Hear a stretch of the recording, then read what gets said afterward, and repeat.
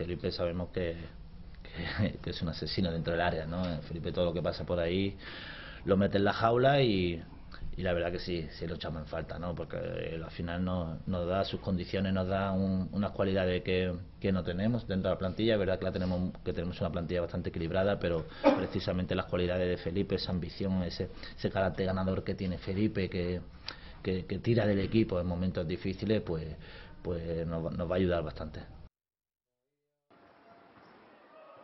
El Palma Futsal vol recuperar el gol per tornar a guanyar després de tres jornades. L'equip d'Antonio Vadillo ve d'empatar amb el Jaén i de perdre contra el Pozo i el Cartagena. Es importante ya recuperar sensaciones, eh, sacar los tres puntos. Nos visita un rival como, como es Zaragoza, un rival experimentado, donde tienen varios jugadores que ya llevan muchos años en la categoría. Per al Palma, quart en la classificació, aconseguir els tres punts també és clau per altres dos motius.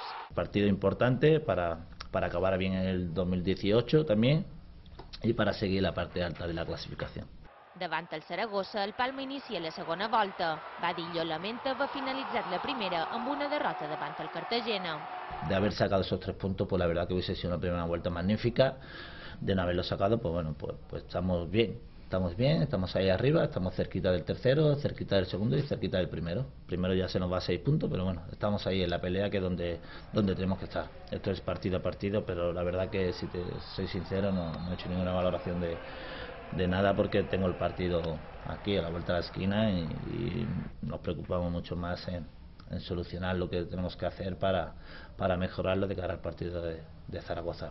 El partit contra el Saragossa es disputarà a Son Moix a les 8 i mitja. Diego Quintela serà baixa per un cop al peu. Tafi, amb una contusió a les costelles, serà dubte fins al darrer moment.